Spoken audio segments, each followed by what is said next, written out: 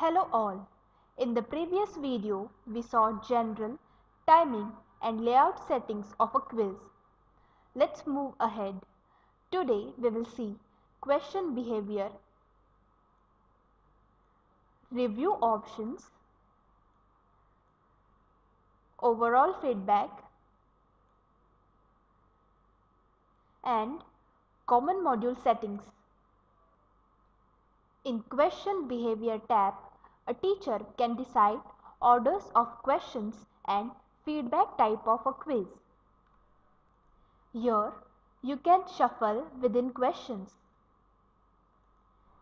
In this feature, you can select feedback type. Deferred feedback means after submitting the quiz, students receives the feedback. In adaptive mode, students get multiple attempts for a question.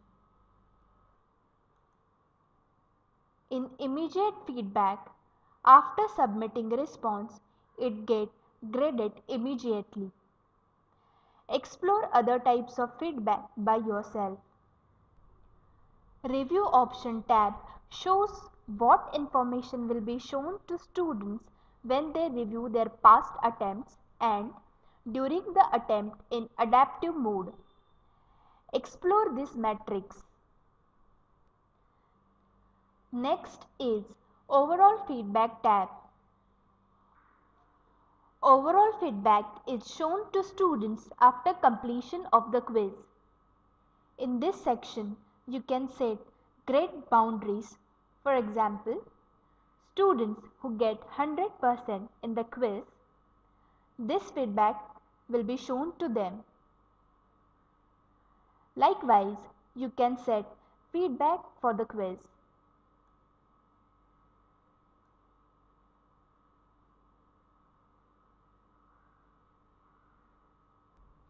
In common module settings, keep visibility show. At the end, click Save and return to course. To open a quiz, simply click it. This is how you can create a quiz on Moodle. Thanks for watching the video.